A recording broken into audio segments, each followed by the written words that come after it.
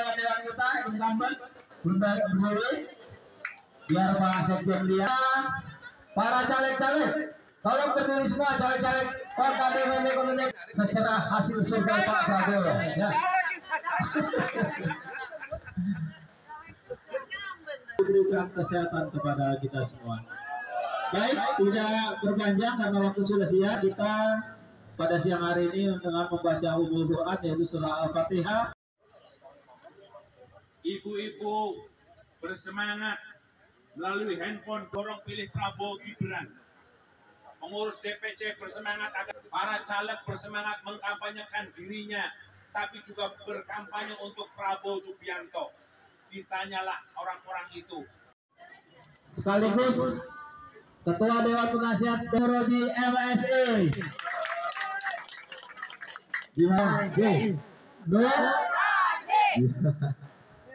Kepada beliau dan juga selalu diberikan segala kemudahan-kemudahan.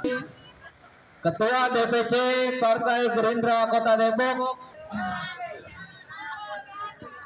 yang saya hormati juga Sekretaris DPRD Provinsi, Sekretaris Caleg DPRD Provinsi Jawa Barat nomor urut satu dapil kota kita penyanyi yang sudah legend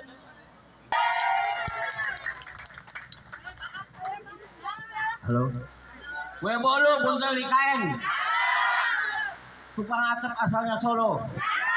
Lu boleh ke yang lain, gua tetap Prabowo. Weh!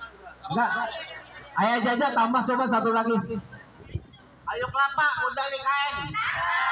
Anak manjangan makan sawo. Ngapain ke yang lain? Mendingan Prabowo. pokoknya kalau seniman mau penyanyi kita nggak ragukan dah ya pan Satu, dua, tiga. Oke, bentar.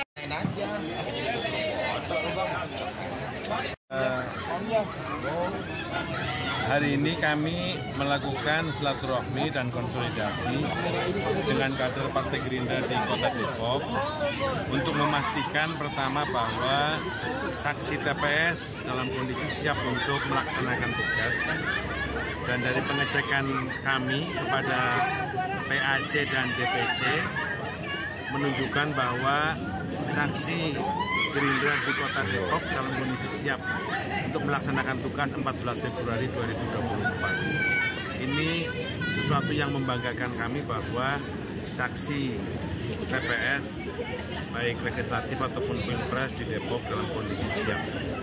Yang kedua kami ingin mengecek kesiapan pemenangan pilpres di Depok. Suasananya dalam keakraban, kebersamaan yang cukup bagus dan mereka kita targetkan di atas 60 persen. Dan insya Allah bisa kecapai karena suasananya kondusif, baik internal Gerindra ataupun Gerindra dengan para relawan dan partai koalisi. Sehingga suasana ini bisa dicapai.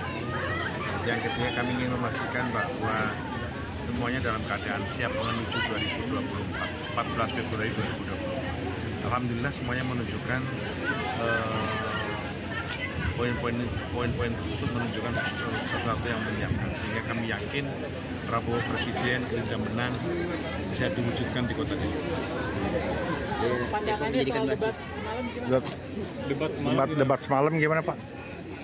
Saya kira debat semalam menunjukkan kematangan seorang Gibran sebagai calon wakil presiden, penguasaan masalah termasuk terhadap angka-angka itu cukup bagus sekali, kematangan menguasai masalah, kemudian kemampuan mengemukakan masalah, termasuk kemampuan dalam menyampaikan alternatif-alternatif penyelesaian atas satu masalah.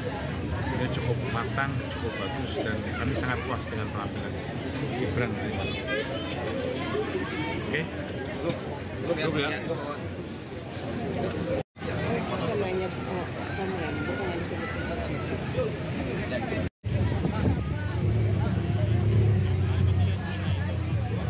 Jelajahi cara baru mendapatkan informasi. Download Metro TV Extend sekarang.